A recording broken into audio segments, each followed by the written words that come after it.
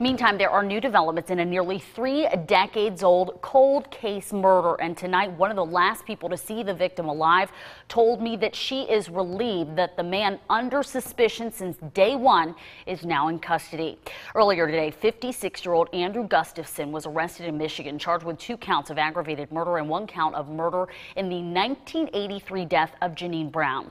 Her body was found November 19th of that year in a drainage ditch along Archbold Whitehouse Road in Whitehouse house. But just hours before her death, Brown has been spending time with her best friend, Pam Purney, who talked with me tonight about her reaction to today's new developments.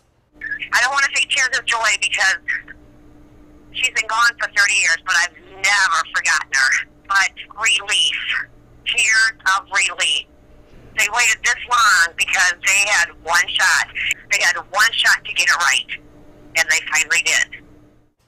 Purney adds that while it may have taken decades to charge Gustafson, she credits the unrelenting effort of investigators with making today's arrest possible.